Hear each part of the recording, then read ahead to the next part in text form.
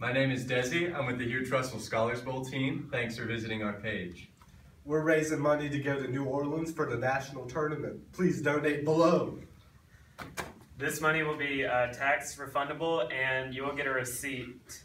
And if you can't donate, just share it on social media.